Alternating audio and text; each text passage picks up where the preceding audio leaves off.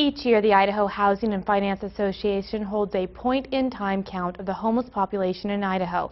In 2013, in the Magic Valley, Wood River, and Mini-Cassia areas, there were 127 homeless counted. Ben Lyda for Idaho's First News takes a closer look at what it's like to be homeless in the Magic Valley.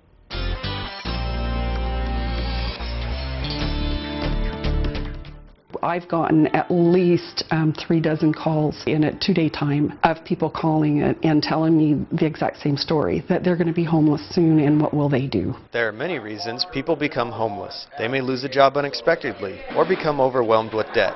Fortunately, there are resources in place in the Magic Valley to assist those in need. One such place is the Valley House. We bring them into the Valley House. We help them get on their feet. We help them find better jobs. We help them get into permanent housing and um, hopefully never have to be homeless again. While the Valley House can help with shelter, other places, like the Salvation Army, can offer other services to those in need. We run a hot lunch program Monday through Friday, 12 noon straight up. Just have to show up to eat and it's Good, nutritious hot meal, no proof of need required. If you're humble enough to be here, we're happy to serve you. The Twin Falls School District works to identify students in need and how they can help to keep them in school and off the street. As of this morning, I've identified 154 students that fall under the category. Despite living situations, there are some students who are determined to receive an education. I interviewed a young man this week. He is working. He just came back to school to earn his credits, but he wants to graduate and he, he has enough money to pay for two weeks in a hotel. There's a, a, large portion that live in various places around the community. They're living behind bushes, behind old buildings. They're living down in the canyon. As people fall in hard times, becoming homeless may not always come as an option, but for others, they have turned it into a way of life.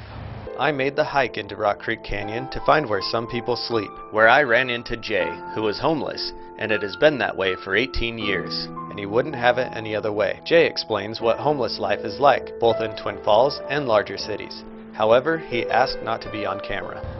All in all, there's about 40 homeless people in, in Twin Falls. The bigger cities, they have soup kitchens, actual that, uh, places to stay at night. They give out a lot more food and clothing. They don't know what they're going to do. They don't want their families to be out on the street. You know, maybe they have a vehicle, maybe they don't, but that's not a place to have your children in uh, is a vehicle or even out on the street. The street should not be a place for anyone. The winter can get cold and dangerous. There are many hidden truths out there if you take the time to look. In Twin Falls, Ben Lyda, Idaho's First News. Last year, the Salvation Army served 22,000 meals out of its kitchen.